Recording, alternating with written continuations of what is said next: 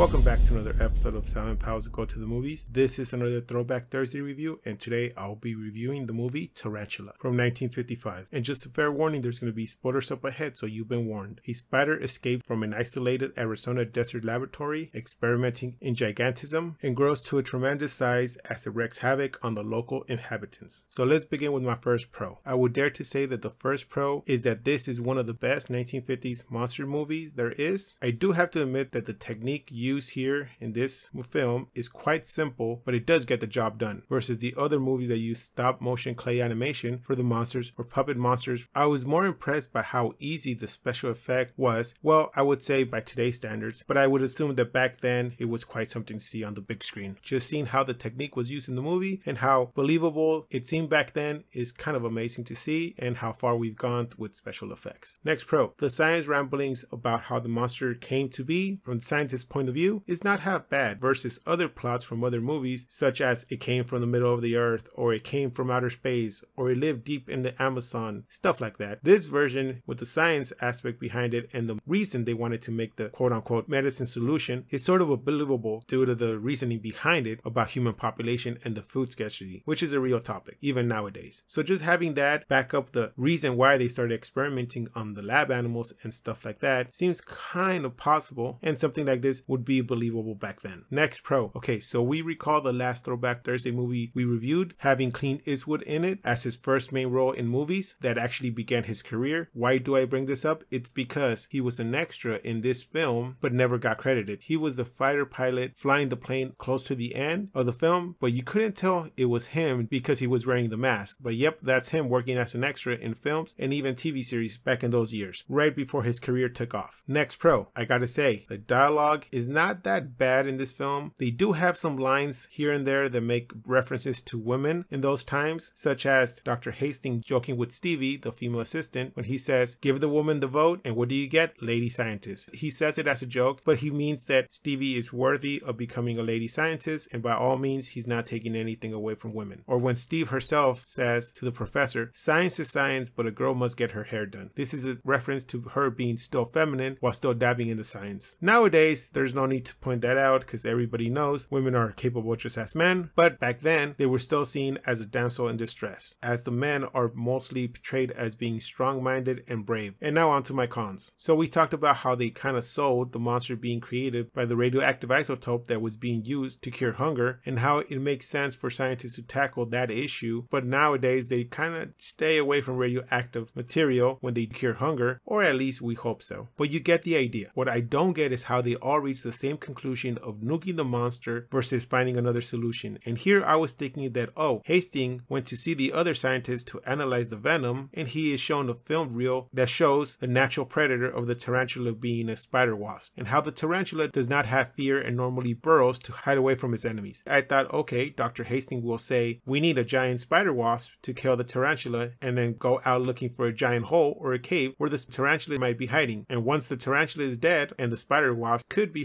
fatally wounded, or still alive, they cave in the cave and seal both inside and end credits. Here you either got rid of the monsters or they can return for a future film and have a part two. But no, what I was thinking is not the 1950s answer, which is bomb them all to hell. So they actually ended the movie with a really anticlimactic scene, ending with no explanation, just having them stand around and watch the spider die, and that was case closed. Oh, let me add this here instead of having a separate con. For a spider that size, how does nobody else see it or spot it in the desert or the doctor see it when he's flying his plane into town. I mean, is the spider hiding behind a giant bush or something? Next con, the death of the other scientists and their conditions. I know that during these times, they wanted everything to look sort of monsterish, but couldn't they make the scientists die a different way? Maybe slowly, or the last one as he's dying, he's lending his knowledge to help stop the spider. Think about it. When the first plan with the dynamite doesn't work, the professor could lure the spider somewhere into a cave with science or a large dose of the solution that he was creating. Technically, the solution is a nutrient based or sort of food for it. So there's a trap and there's a lure, and to sweeten the deal, you can have the professor be the one inside the cave to detonate the dynamite to seal the cave. A brave sacrifice to correct his mistakes. But hey, making his face look all weird and sort of melting is more shocking, I guess, back then for the audience who would go see this movie in theaters. So my final grade for this movie is going to be a 7 out of 10. The film was sort of enjoyable and mostly due because it was interesting to see how they saw things in 1950s or actually get an idea of what the films in the 1950s wanted to portray. And also, it's a 1950s monster movie, and I wanted to hear the idea of them selling the monster in this movie versus other movies that is like it just happened to appear out of nowhere. And I got to say, it was a bit believable, but man, how they solved the problem in under five minutes, like damn, that's the US attitude in 1950. If you can't solve it logically, just nuke the hell out of it. Oh, and also, the fighter pilot who was Clint Eastwood makes it really interesting to know that he's in the movie but not credited. And this is how Clint Eastwood began his career as an extras in other movies. If you don't know about Clint Eastwood before movies, that he was in the army in real life and he actually survived out in the open ocean and he swam to shore, you should look that story up because I can't believe that that true story is not a movie yet. So that does it for this review of Tarantula. Please join us next time where we're going to review The Boy in the Plastic Bubble.